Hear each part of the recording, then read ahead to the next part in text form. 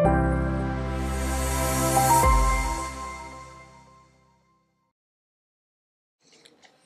Friends मैं हूँ शिफाली गिरधरवाल और आप देख रहे हैं कंसल्टीज विद क्लियर टेक्स आज की वीडियो में हम लोग बात करने वाले हैं स्क्रूटनी ऑफ़ रिटर्न्स के बारे में। स्क्रूटनी ऑफ़ रिटर्न्स हम लोगों ने इनकम टैक्स में तो शुरू से सुनते आ रहे हैं। स्क्रूटनी होती है, सब लोगों को होता है कि यार अच्छा रिटर्न स्क्रूटनी में आ गई रिटर्न स्क्रूटनी में आ गई, इसका मतलब क्या है? अच्छा कि जीएसटी में कोई स्क्रूटनी का सेक्शन था? अब तो पाँच साल हो गए हम लोगों को पढ़ते पढ़ते, अब तो याद हो जाना चाहिए। सिक्सटी वन सेक्शन था स्क्रूटनी की बात करता था। स्टार्ट होता था सेल्फ असेसमेंट से section fifty nine then provisional assessment section sixty जो कभी यूज़ नहीं होता यूजलेस सेक्शन है बिल्कुल ही। और देन सिक्सटी वन सेक्शन जो बात करता था स्क्रूटनी ऑफ़ जीएसटी रिटर्न के बारे में। लेकिन हमें से किसी को ये आइडिया नहीं था कि प्रैक्टिकली भी ऐसा कुछ होगा। लेकिन अभी रिसेंटली एक डॉक्यूमेंट रिलीज़ किया है सीबीआईसी ने, जिसमें उन्होंने इसका पूरा एक स्ट्रक्चर बताया है कि जो स्क्रूटनी है रिटर्न्स की वो किस तरीके से होगी इंस्ट्रक्शन दी है डिपार्टमेंट के लोगों को, वो कैसे कंडक्ट करेंगे, ये भी लिखा है और उन्होंने इसमें जो सबसे इंपॉर्टेंट चीज़ दी है तो आपको जानना चाहिए, वो दी है इंडिकेटिव पैरामीटर्स इंडिकेटिव पैरामीटर्स मतलब ये ये पैरामीटर्स हैं तो स्क्रूटनी ओपन हो सकती है उन रिटर्न्स पे, जिनमें, इनमें से कोई एक डिस्क्रिपेंसी मिलेगी। वो डिस्क्रिपेंसीज मैं आपके साथ आज डिस्कस करने वाली हूँ, क्योंकि अगर ऐसी कोई डिस्क्रिपेंसी है ऑलरेडी आपके अकाउंट में तो आप समझ सकते हैं कि आप पे स्क्रूटनी का नोटिस अब आ सकता है। और मुझे लगता है कि आगे आने वाले एक दो साल तक हम सब लोग, आप भी, यानी कि टैक्स पेयर भी और कंसल्टेंट्स भी, इसी काम में बिज़ी रहने वाले हैं। स्क्रूटनी के नोटिस आएँगे और हम लोग उसका रिप्लाई करेंगे। कुछ जो अच्छे रिप्लाईज होंगे, उस केस में आप छूट जाओगे, जो नहीं होंगे, वहाँ पे कुछ और एडिशनल लाइबिलिटी बनेगी। आप लोग जानते हैं ऑल टाइम हाई पे है हमारी कंट्री में जीएसटी का रिवेन्यू बट वो इनपुट टैक्स क्रेडिट की ब्लॉकेज की वजह से भी है। तो अब जो ब्लॉकेज रिलीज़ करनी पड़ेगी, जिसके लिए कोर्ट भी ऑलरेडी बोल चुका है जीएसटी को बोला जा चुका है कि यार अब ऑटोमेटेड फैसिलिटी करो ब्लॉकेज रिटर्न करने के लिए तो थोड़ा रिवेन्यू जो कम होगा, अब उसको फिर से रिकवर करना है। तो अभी नई चीज़ आ चुकी है स्क्रूटनी ऑफ़ रिटर्न इसके इंडिकेटिव पैरामीटर्स मैं आपके साथ डिस्कस करूँगी। थोड़ा थोड़ा ये भी डिस्कस करूँगी कि इसका रिप्लाई हम किस तरीके से बना सकते हैं, क्योंकि इसमें से कुछ पैरामीटर्स ऐसे हैं जिनका कोई सेंस ही नहीं बैठता। ये जो ऐसी चीज़ें है जो ऑलरेडी सेटल्ड है लॉ के अंदर की इसका तो कुछ होना ही नहीं है तो वो भी मैं आपको थोड़ी हेल्प करने की कोशिश करूँगी यहाँ पे। सबसे जो पहला पैरामीटर है इनका, वो है कि अगर कोई गैप है G S T R three B और G S T R one के बीच में G S T R three B और G S T R one की जो अब तक की जर्नी है, उसमें ये हो चुका है, अभी जो करंट हो चुका है, पहले नहीं था गवर्नमेंट ये कहती है कि अगर आपने जी एस वन में कुछ सेल्फ डिक्लेयर कर दिया, जिसको उन्होंने बोला है कि वो सेल्फ डिक्लेयर्ड माना जाएगा, यानी कि आपका सेल्फ असेसमेंट टैक्स माना जाएगा एक्सप्लेनेशन इंसर्ट करके सेक्शन सेवेंटी फाइव के अंदर ऑल दो अब तक वो प्रोविज़न नहीं था, वो अभी ट्वेंटी ट्वेंटी टू से ही आया है तो वो कह रहे हैं कि उसके और थ्री बी के बीच में कोई डिफरेंस है तो उस डिफरेंस को एक स्क्रूटनी का इंडिकेटिव पैरामीटर माना जाएगा, यानी कि उस केस में आपको नोटिस आ सकता है। तो इसमें हम लोग डेफिनेटली ये चीज़ बोल सकते हैं कि ये प्रोविज़न अब एप्लीकेबल हुआ है। उससे पहले ऐसी कोई प्रोविज़न नहीं थी जीएसटी के अंदर कि जीएसटी वन में जो आपने डिक्लेयर कर दिया, वो आपका सेल्फ असेसमेंट टैक्स हो गया और अब थ्री बी के अंदर जो आप पे कर रहे हो, उससे अगर कम अमाउंट पे कर रहे हो तो आपका वो रिकवरी प्रोसीडिंग उसके लिए हो। उसके लिए आपको स्क्रूटनी का नोटिस भी आ सकता है। तो रिकवरी प्रोसीडिंग तो डायरेक्ट होती बट स्क्रूटनी में भी आपको नोटिस आ सकता है। तो वहाँ पे आप उसका रिप्लाई बना सकते हो कि अभी तक उसके ऐसे प्रोविज़न नहीं थे। इसमें काफ़ी सारी डिटेल्स हैं जो आपके काम आ सकते हैं, क्योंकि प्रोविज़न खुद बहुत लेटली एप्लीकेबल हुआ है। उससे पहले ये भी क्लैरिटी नहीं थी कि जी एस थ्री भी जी की रिटर्न है भी या नहीं। और दूसरी बात है कि जब हम सेल्फ असेसमेंट करते हैं जीएसटी का एज पर सेक्शन 59 वो हम लोग कब करते हैं? जब हम लोग सेक्शन 39 की रिटर्न फ़ाइल करते हैं, ना कि सेक्शन 37 की। तो सेक्शन 39 की रिटर्न हमारी कौन सी है?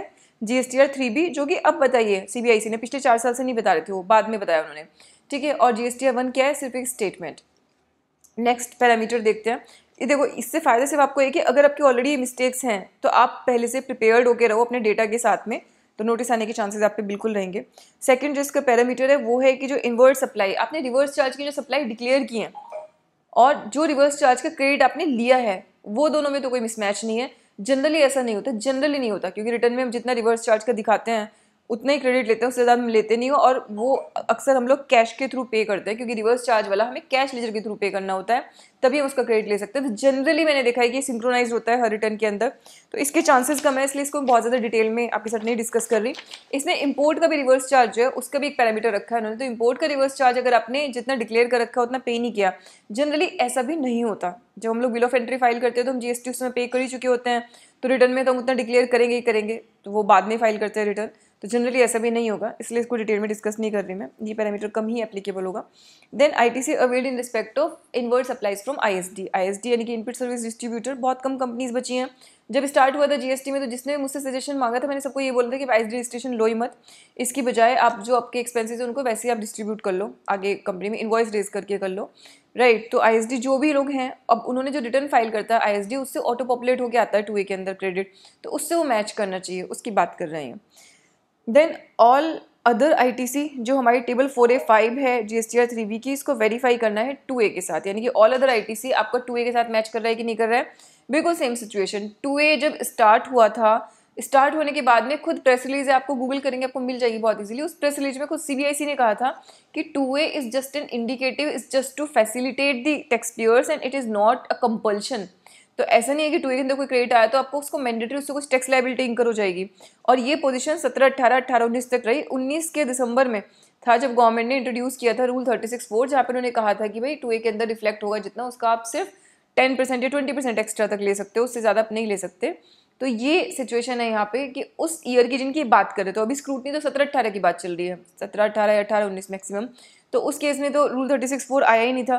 तो यहाँ पे भी आप लोग आराम से अपना एक रिप्लाई बना सकते हो और उस प्रेस रिलीज़ को जिसकी मैं बात कर रही हूँ, उसको आप कोट कर सकते हो। Then T D S and T C S तो जिन लोगों का टी डी एस और टी सी एस डिडक्ट होता है जनरली गवर्नमेंट डिपार्टमेंट है, उनको लाइबिलिटी होती है टी डी एस डिडक्ट करने की जी एस टी पे। और टीसीएस जो ई कॉमर्स ऑपरेटर्स होते हैं, उनको डिडक्ट करना होता है।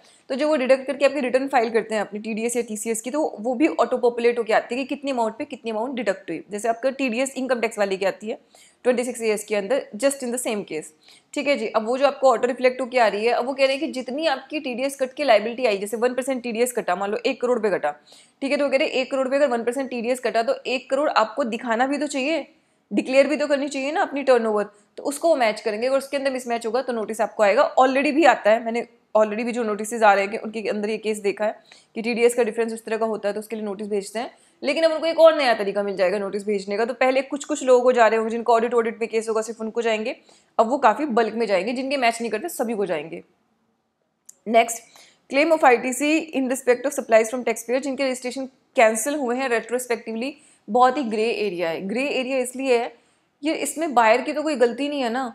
देखो, ये आप बायर को हमेशा ऐसी पोजीशन में रखोगे कि यार तुम्हारे सेलर का रेट्रोस्पेक्टिवली कैंसिल हो गया रजिस्ट्रेशन इसमें मेरी क्या गलती है? मुझे क्या पता उसके बिज़नेस के बारे में? उसने अपनी रिटर्न फ़ाइल की टू ए में रिफ्लेक्ट होगी और बाकी सारे इंडिकेटर्स थे, वो कंडीशन पूरी होगी। लॉ के अंदर if I talk about GST law तो जीएसटी लॉ में ऐसा कहीं कोई प्रोविज़न नहीं है। जो ये बोले कि आप रेट्रोस्पेक्टिवली अगर रजिस्ट्रेशन कैंसिल कर देते हो तो सामने वाले का आईटीसी चला जाएगा। और आप रेट्रोस्पेक्टिवली रजिस्ट्रेशन कैंसिल करने का आपको राइट भी कहाँ है, मुझे ये भी नहीं समझ में आता। आपने कैंसिलेशन किया बट जब बायर ने उससे परचेज किया, तब तो वो रजिस्टर्ड था ना। इसके लिए ऑलरेडी एक हाई कोर्ट का केस भी है, जहाँ पे उन्होंने बोला भी था कि यार, अगर रजिस्ट्रेशन कैंसिल होने से पहले उसने कुछ परचेज किया था तो वो वैलिड इन्वॉइस है आपके पास आपके पास एविडेंसेज हैं, आपने उसको पेमेंट किया है you can substantiate your position then definitely आपको क्रेडिट मिलना चाहिए। वही व्यू मेरा इस केस में भी है। कि आप इसके रिप्लाई में उसको कोट भी कर सकते हो। और क्रेडिट आपको इस केस में बिल्कुल मिलना चाहिए। तो ऑब्वियसली वो तो नोटिस भेजेंगे और वो बोलेंगे कि नहीं मिलेगा। But you will have to clear your stand कि आपको क्यों लगता है कि वो मिलना चाहिए। नेक्स्ट जब थ्री बी किसी भी टैक्स पीरियड की फ़ाइल की गई थी after the last date of availment of I T C in respect of any invoiced और debit note as per section sixteen four अच्छा एक पॉइंट इसमें छूट गया। In eligible I T C availed in respect of invoice और debit note where from the supplier who have not filed G S T R three B इसमें G S T R one मुझे समझ में आता है G S T R three B मुझे समझ नहीं आता है। कह रहे कि आपके सप्लायर ने G S T R three B late file की थी और उसने जो थ्री बी लेट फ़ाइल की थी तो इतना लेट फ़ाइल की कि आपका जो करेक्शन करने की डेट थी टाइम लिमिट होती है टाइम बार थी मतलब वो रिटर्न तो आपका इनपुट टैक्स क्रेडिट उससे हैम्पर हो जाएगा। तो मुझे नहीं समझ में आ रहा क्योंकि जी एस वन फ़ाइल करने से टू ए में रिफ्लेक्ट होता था। टू ए में रिफ्लेक्ट होने के बाद आपको राइट मिलता था लेने का। अब टू ए में रिफ्लेक्ट हो गया, उसने वन फ़ाइल कर रखी है। बिल्कुल सही बात है। उसने थ्री बी फ़ाइल नहीं की तो आप मेरा क्रेडिट क्यों रोक रहे हो? अगेन ये एक ना हाइपोथेटिकल सिचुएशन गवर्नमेंट ने सोच लिया है कि उसने किसी भी वजह से अगर टैक्स पे नहीं कर रखा तो तुम्हारा क्रेडिट रोक देंगे। ये लॉ में कहीं सब्सटेंशिएटेड नहीं है। इसको डेफिनेटली आप डिफेंड कर सकते हो।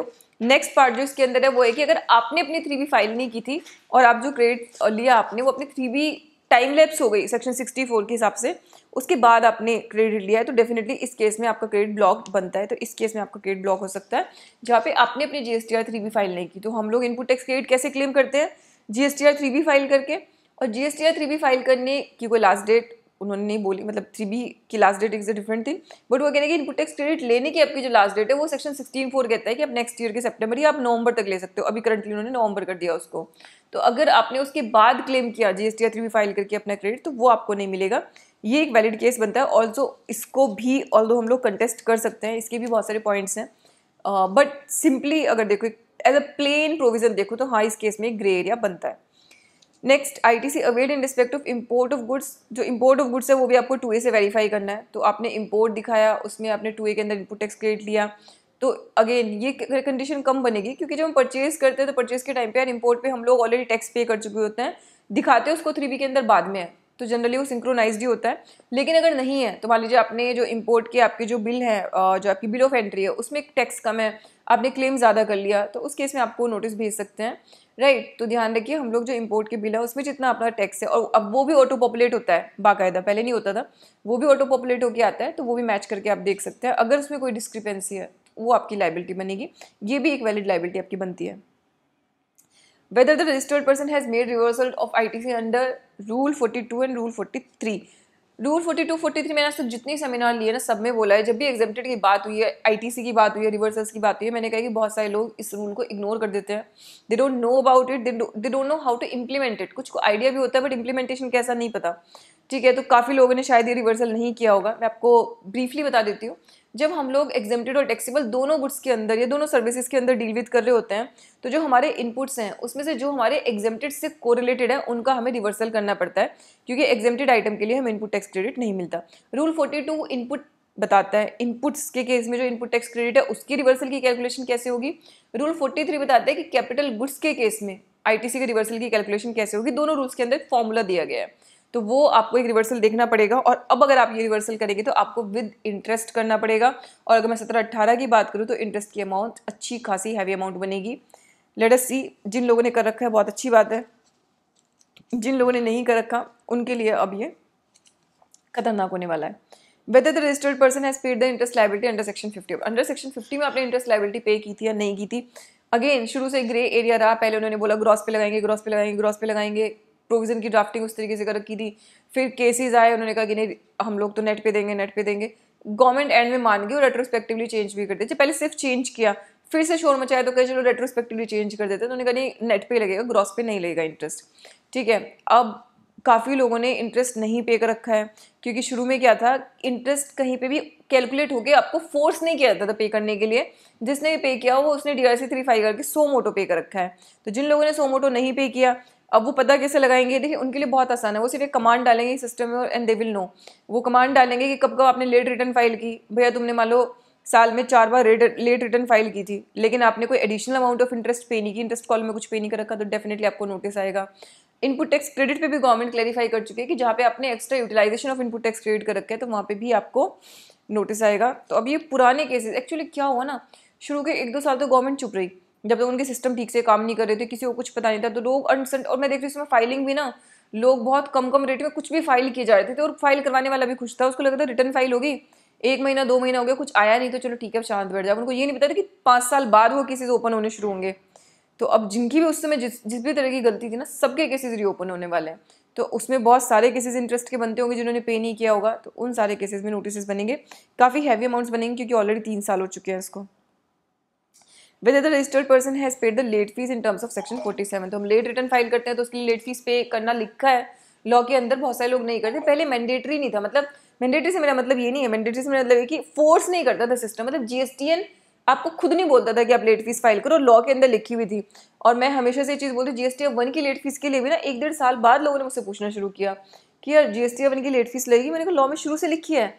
वो कह रहे कि, अच्छे लोग बोले जीएसटी वन पे लेट फ़ीस लगाएँगे? मैंने कहा, मेरे भाई लॉ में शुरू से लिखी है। तो जो चीज़ लॉ में लिखी है, अब जीएसटी उसको लगाए या नहीं लगाए इट्स जस्ट अ पोर्टल आपको बनती है तो आपको पे करनी पड़ेगी। तो लेट फ़ीस के केस में जितने भी लोगों की लेट फ़ीस मिसिंग है, उन सब लोगों को लेट फ़ीस पे करनी पड़ेगी।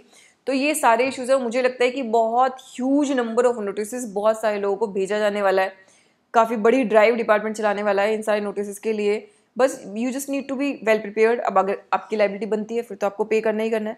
और अगर कुछ, मैंने बताया ना कि इसमें से कुछ केसेस ऐसे भी हैं जो बहुत ही हाइपोथेटिकल है और जहाँ पे लाइबिलिटी एक्चुअली नहीं बननी चाहिए। मतलब जिनका कोई लॉजिक नहीं है, जो अब जाके गवर्नमेंट सेटल कर दी है मतलब गवर्नमेंट ने अपना माइंड मेकअप किया अब कि प्रोविज़न अच्छा ऐसा होना चाहिए और उसको अप्लाई करने रेट्रोस्पेक्टिवली लॉ में चेंज नहीं करा रेट्रोस्पेक्टिवली बट अपने दिमाग में चेंज कर दिया कि अच्छा शुरू वालों को भी सबको ये बोलो। तो डेफिनेटली इस तरह के नोटिस जो है, उनका आप रिप्लाई बनाएँगे तो उनमें से कोई भी स्टैंड नहीं कर पाएगा। अपील में तो कोई भी स्टैंड नहीं कर पाएगा इनमें से और ट्रिब्यूनल तो बना ही नहीं है। तो अपील में कुछ नहीं हुआ तो सीधे फिर हाई कोर्ट जाना। हाई कोर्ट में बिल्कुल भी स्टैंड नहीं कर पाएँगे क्योंकि वहाँ तो आपको पता है डिपार्टमेंटल लोग नहीं होते, वहाँ पे एक इंडिपेंडेंट ज्यूरी होती है सुनने के लिए हमारी बातें। तो ज़्यादा अच्छे डिसीज़न की हम लोग उम्मीद कर पाते हैं हाई कोर्ट से। तो ये बहुत बहुत इंपॉर्टेंट इंडिकेटर्स थे। अगर आपके इस तरह कुछ इंडिकेटर्स हैं तो यू शुड बी प्रिपेयर्ड आप अपना डेटा प्रिपेयर करके रखिए, अपने आर्ग्यूमेंट्स प्रिपेयर करके रखिए।